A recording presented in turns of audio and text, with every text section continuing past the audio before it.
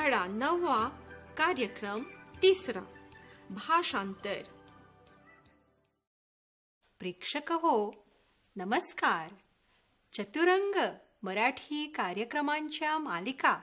या कार्यक्रमात तुमचे स्वागत करताना मला अत्यंत आनंद होत आहे.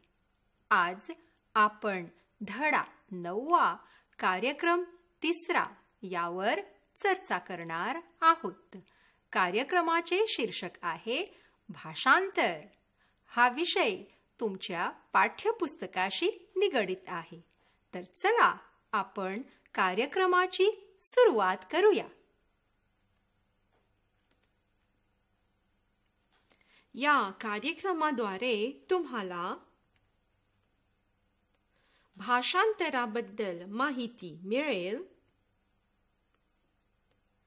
मराठी ते इंग्लिश भाषेत भाषांतर करता येईल.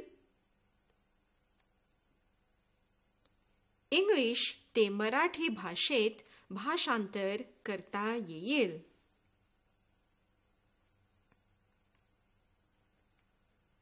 भाषांतर म्हणजे काय?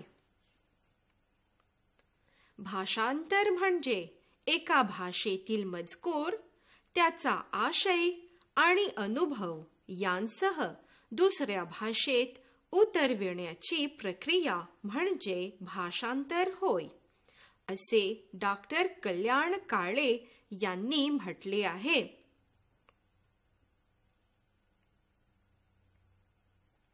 पुढील भाषांतरित शब्द पहा.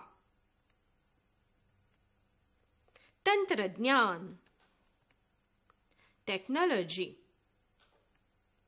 संप्रेषण कम्युनिकेशन संगणक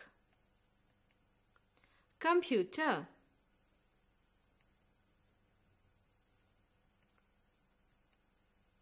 ग्लोबलायझेशन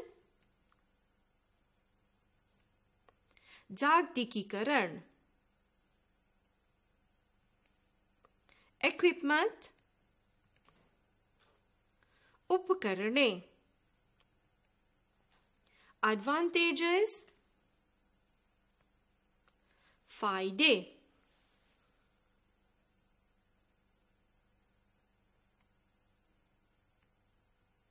पुढील इंग्लिश परिच्छेद वाचा My father works in an office. Every day he goes to work on time. He is a hard worker. He works on a computer. Father uses computer to store, to prepare, to present, and to share information.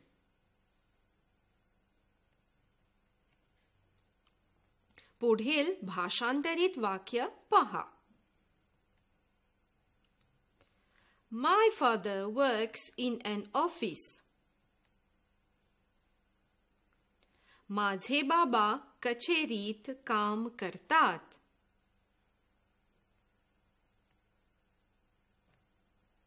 Every day he goes to work on time. दररोज ते वेळेवर कामाला जातात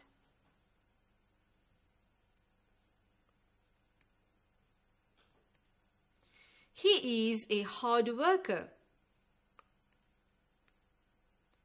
ते कामसू आहेत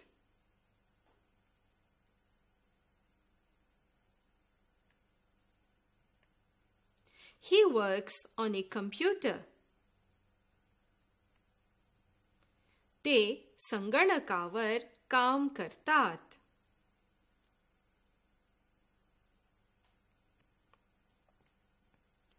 Father uses computer to store, to prepare, to present, and to share information. माहिती साठविण्यासाठी तयार करण्यासाठी प्रदर्शित करण्यासाठी व तिची देवाणघेवाण करण्यासाठी बाबा संगणक वापरतात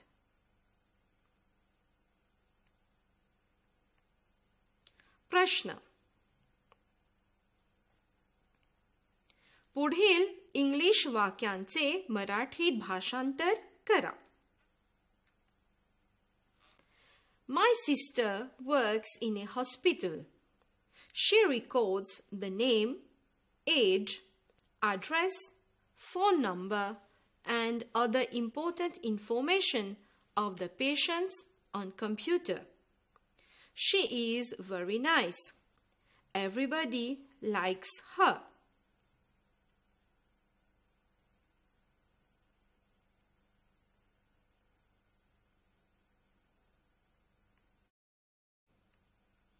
या कार्यक्रमाद्वारे तुम्हाला भाषांतराबद्दल माहिती मिळाली. मराठी ते इंग्लिश भाषेत भाषांतर करता आले. इंग्लिश ते मराठी भाषेत भाषांतर करता आले. आजचा आपला हा कार्यक्रम इथेच संपत आलेला आहे. आपली पुढची भेट होईपर्यंत तुम्हा सर्वांना धन्यवाद व नमस्कार.